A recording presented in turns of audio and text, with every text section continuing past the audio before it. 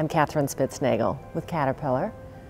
Grateful to be here today as a 10-year survivor, breast cancer.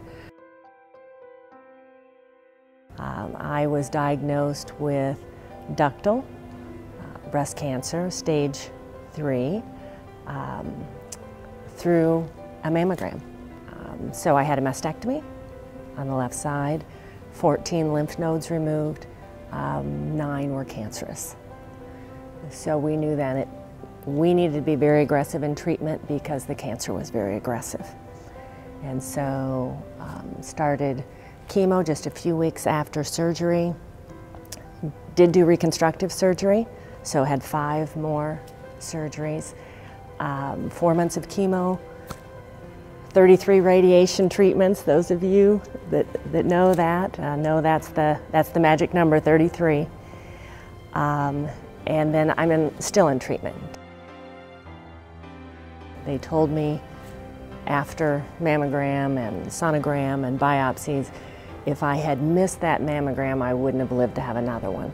And it was, it was hard. And what Scott and I figured out, my husband, was that for each bit of information, we had to process it separately and then come together as a couple and process it and then figure out how we're going to tell our boys and then you know talk beyond that how are we going to tell parents mm -hmm. extended family that that uh, sort of thing and um, yeah telling the boys was going to be very difficult i don't know that i ever asked uh, why me, but I asked what's next. And uh, Shay, our oldest one, was graduating from high school. Uh, his graduation was after my first chemo. And um, two people helped me in because I really wasn't standing very well. And I thought, okay, Lord, I need to be looking at this in terms of small milestones and not you know, years out. Because immediately that's what you think. I want to see them married. I want to see grandchildren. I want to, you know, um, my focus became uh, much smaller. Okay, I want to see him graduate in six days. My most vivid memory is just the depth of thoughtfulness and caring of people. Uh, when I speak to other survivors, I'll often begin the talk by saying, if you want to see the depth of love and caring and compassion in this world, show up with cancer because it's, it's amazing. People you don't know uh, that, that reach out, that want to come along with you on that journey, help your family, and that's another wonderful gift of cancer. And that's another thing I talk about. What are the gifts? What are the blessings? And one of the gifts of cancer is, is courage. And you think, yeah, I'll take that on. I really learned to take one day at a time, which is very difficult for me, and also just relish everything in that day. Um, of course, my God, who's gotten me through all of this, uh, wouldn't be here, uh, wouldn't be standing here without him. I'm a walking miracle, and I, I know that. Um, 10 years still in treatment. Uh, so I'm, I'm, most grateful for that. Also, friends and family around me.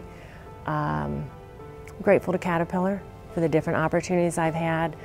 Um, there is a fear sometimes when you're diagnosed with cancer that, is this a career ender? or am I going to become the cancer girl? And uh, Caterpillar didn't treat me that way at all. Uh, they kind of said, you were you know, strong, you're tough, you made it through that journey, and creative, and so we're going to use all those same skills over here.